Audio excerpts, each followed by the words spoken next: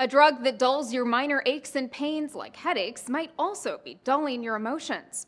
The internet is having fun with the notion that a common pain reliever might also take away your joy. A study published this month in the journal Psychological Science suggests acetaminophen can affect your response to positive and negative stimuli. Acetaminophen is the main ingredient in Tylenol and is used as a pain reliever and fever reducer. Researchers at The Ohio State University tested the drug's effect on 82 college students half of the subjects were given 1,000 milligrams of acetaminophen, and the other were given a placebo pill, but no one was told which pill they were given.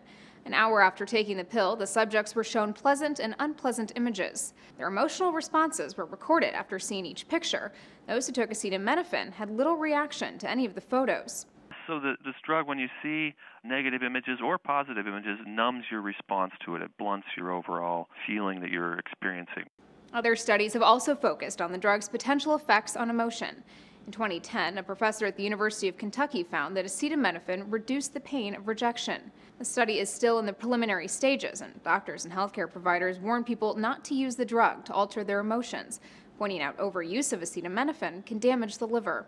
About 50 million Americans take acetaminophen each week, making it one of the most common over the counter drugs. For Newsy, I'm Elizabeth Hagedorn, multiple sources, a broader view.